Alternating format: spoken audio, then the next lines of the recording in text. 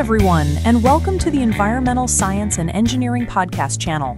In this series, we explore topics related to environmental engineering and environmental sciences. In our previous episodes, we discussed Singapore's advanced water management system and how the city of Mecca handles its water and waste challenges, especially during the Hajj season. Today, we'll focus on one of the largest and most fascinating cities in the world, Istanbul.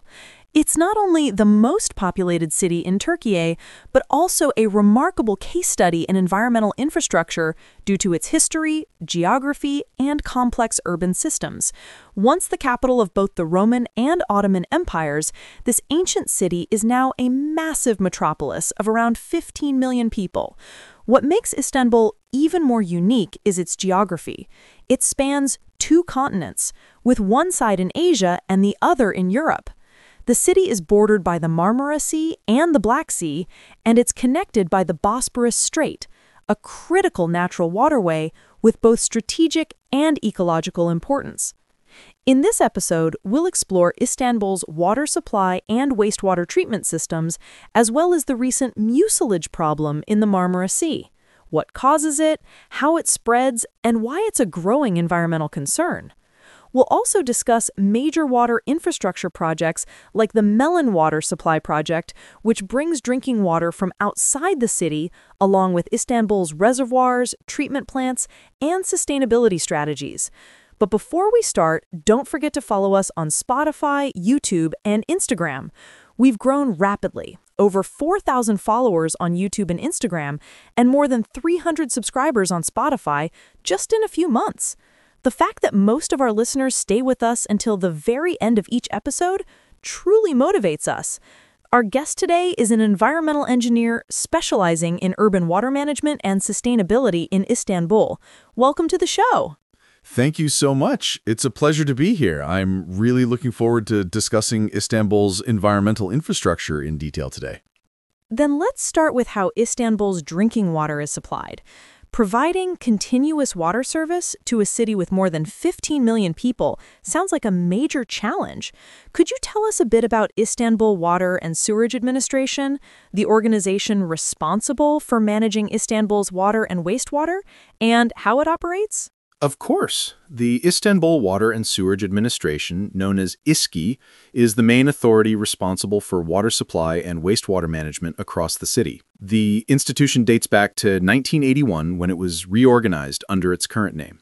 ISKI is financially autonomous, meaning it collects its own revenues and manages its own expenditures. However, it's not completely independent. It operates as an autonomous affiliate of the Istanbul Metropolitan Municipality and remains accountable to the Municipal Council. So where exactly does Istanbul get its water from? Which treatment plants supply the city? And how is water transferred from outside sources? I've often heard about the Melen Project. Could you explain that as well? Istanbul's water comes from a combination of local reservoirs and interbasin transfer systems that bring water from outside regions.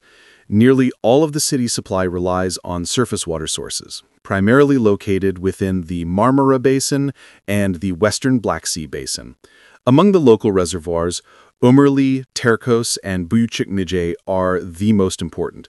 Beyond these, the largest external systems are the Melen and Yeşilçay water transfer projects. The Melen system, situated in the western Black Sea Basin, is one of the most significant engineering projects ever developed to ensure Istanbul's long-term water security, designed to meet the city's demand through 2040, 2050, and even 2071. Water from the Melen regulator is conveyed to Istanbul via a 189-kilometer transmission line consisting of three massive steel pipelines, each up to 3 meters in diameter. In addition, the Yeşilçay system, located near the Sakarya-Kocaeli border, provides supplementary water during periods of high demand. According to 2024 data, Istanbul received approximately 422 million cubic meters of water from Melen and 100 million cubic meters from Yeşilçay. These amounts vary from year to year. Overall, by 2025, the city supplies about 3.25 million cubic meters of drinking water per day, up from 2.63 million cubic meters in 2015, showing how rapidly Istanbul's water demand continues to grow. Does the Melen project supply water only to the Asian side of Istanbul, or does it also reach the European side? Could you explain a bit more about how the Melen system works? Of course. The Melen system actually supplies both sides of the city, not just the Asian side. There's a massive pipeline running beneath the Bosphorus that transfers water from one continent to the other.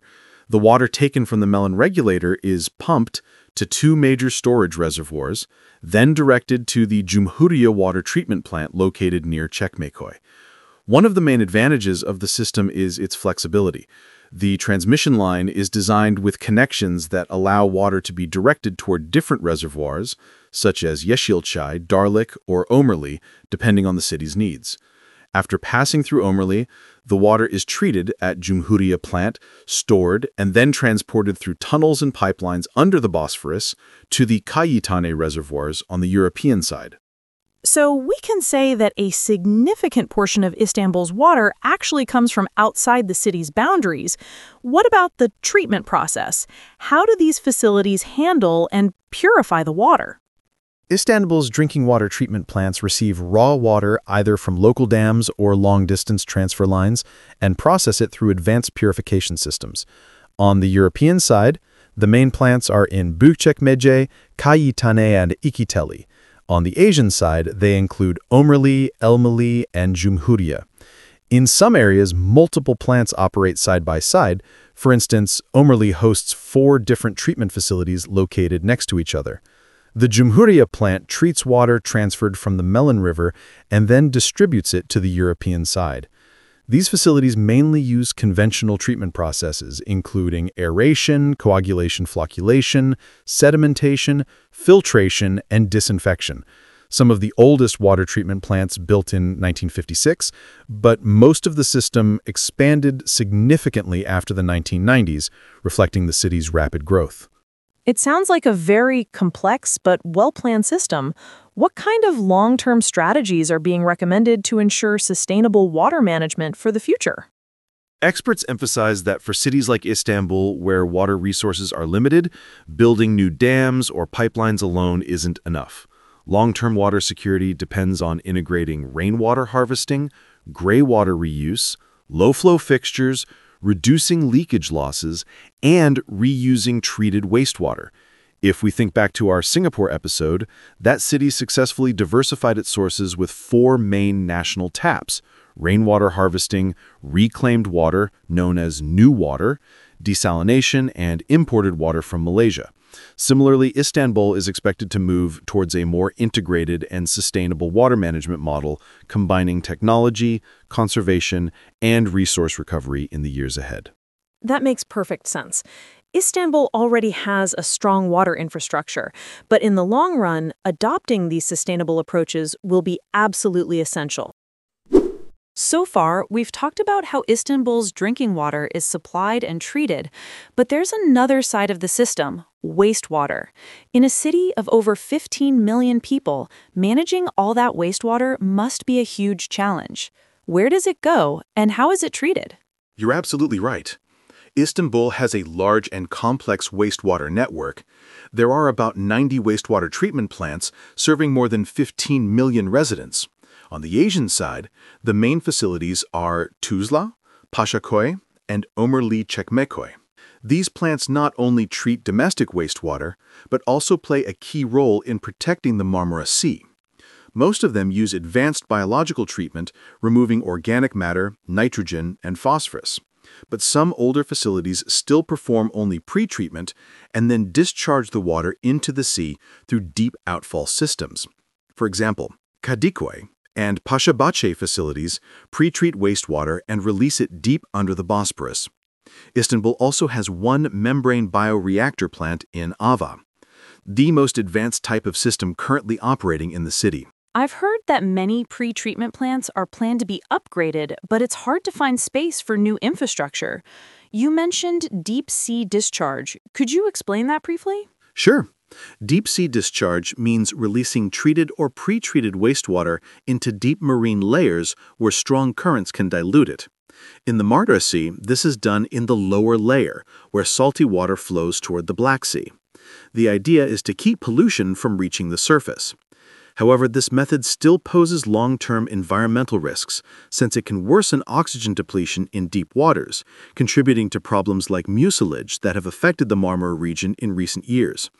So, deep sea discharge helps manage wastewater for now, but improving treatment technology is key to protecting the Marmara and Black Seas in the future.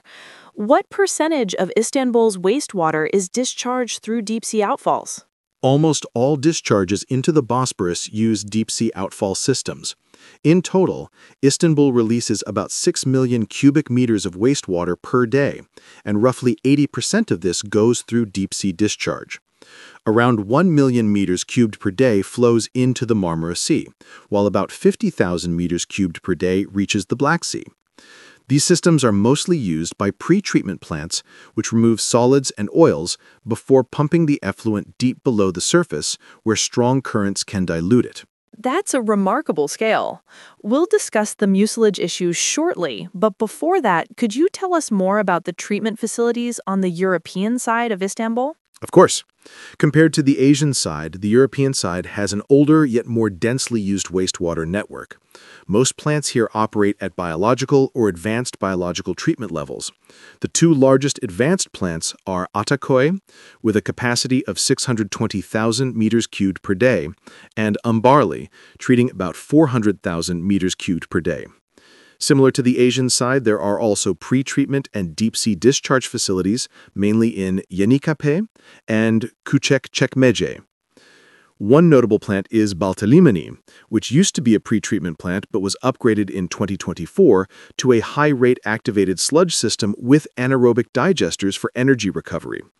However, this process alone doesn't achieve full advanced biological efficiency, especially for nitrogen and phosphorus removal, meaning further improvements will be needed for higher treatment performance. That's fascinating. It really shows how Istanbul is modernizing its old infrastructure while also tackling energy and nutrient recovery challenges at the same time.